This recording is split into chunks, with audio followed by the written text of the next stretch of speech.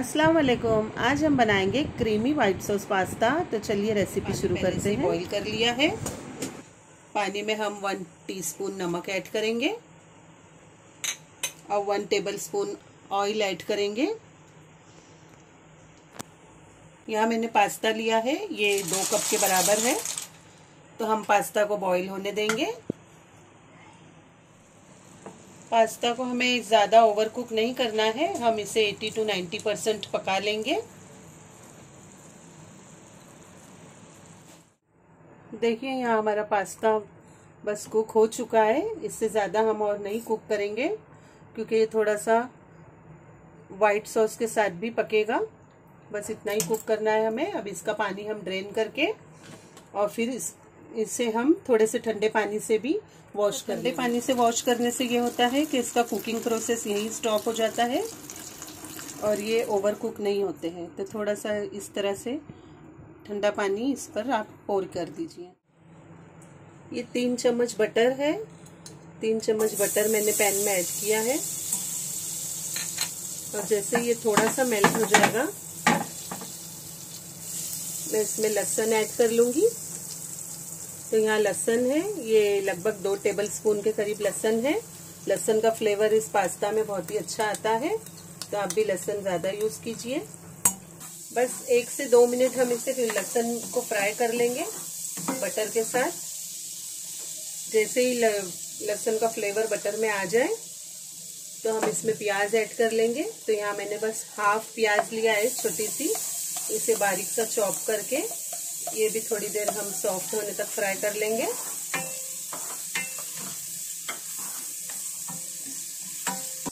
तो देखिए, यहाँ लहसुन और प्याज फ्राई हो गया है हमारा। इसे हमें कलर नहीं चेंज होने देना है, बस इतना ही काफ़ी है। अब इसमें मैं तीन तीन टीस्पून मैदा ऐड कर लूँगी। मैदा ऐड करके हमें इस तरह से, इसे विस्क से चलाना है। और अगर मैदा ऐड करने के बाद ऐसा लगे कि हमारा बटर कम है तो हमें बटर और थोड़ा ऐड कर लेना। यहाँ तो ठीक क्वांटिटी है, तीन टेबल स्पून बटर और मैदा मैंने सेम क्वांटिटी में ही लिया है। बस इसे थोड़ा सा हमें भून लेना है ताकि मैदे का कच्चापन चला जाए। कलर चेंज नहीं करना है हमें मैदे का। अब इसमें हम मिल्क ऐड करेंगे। मिल्क हमें थोड़ा थोड़ा करके ऐड करना है। मिल्क मैंने डेढ़ कप के करीब लिया है यहाँ पर। और थोड़ा थोड़ा मिल्क ऐड करके मैं इसे मिक्स करते जाऊँगी। ताकि इसके लम्ब्स ना बने। देखिए, यहाँ मैंने सारा मिल्क ऐड कर लिया है और लम्ब्स बिल्कुल नहीं बने हैं। ये जो प्याज और लहसुन है, ये दिख रहे हैं हमें इसमें। मैदा पूरा डिज़ोल्व हो गया है दूध के साथ। अब इसमें हम थोड़ा सा ऑरिगेनो ऐड करेंगे। ये हाफ़ टी स्पून ऑरिगेनो है। Half teaspoon chilli flakes है। और थोड़ा सा नमक ऐड किया है मैंने, क्योंकि इसमें अब चीज़ भी पड़ेगी तो चीज़ में भी नमक होता है। और पास्ता बॉईल करते वक्त भी हमने नमक ऐड किया था।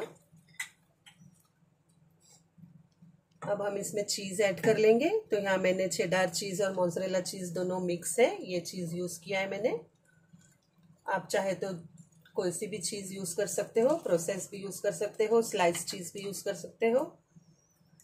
ये पास्ता बहुत ही अच्छा बनता है क्रीमी और बिल्कुल सॉसी आप ज़रूर इसे ट्राई कीजिएगा एक बार। देखिए हमारा सॉस बिल्कुल रेडी है। हाँ बस लास्टली हम थोड़ा सा ब्लैक पेपर पाउडर ऐड करेंगे। ये लगभग half teaspoon black pepper add किया है मैंने। अब हम इसमें अपना पास्ता ऐड कर लेंगे बॉईल किया हुआ।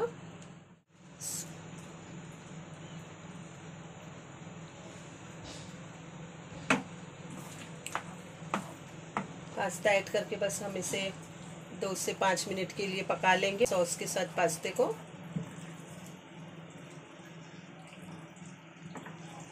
देखिए, इतनी अच्छी खुशबू आ रही है और बहुत ही मज़ेदार हमारा पास्ता बनकर तैयार हुआ है।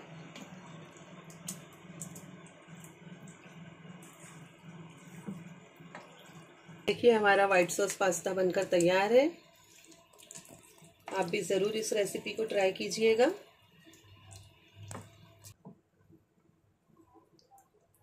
कैसी लगी आपको रेसिपी ज़रूर हमें बताइए। रेसिपी पसंद आई है तो इसे लाइक और शेयर कीजिए। और प्लीज़ चैनल पर नए हैं तो हमारे चैनल को सब्सक्राइब कीजिए। फिर मिलेंगे इंशाल्लाह एक नई रेसिपी के साथ।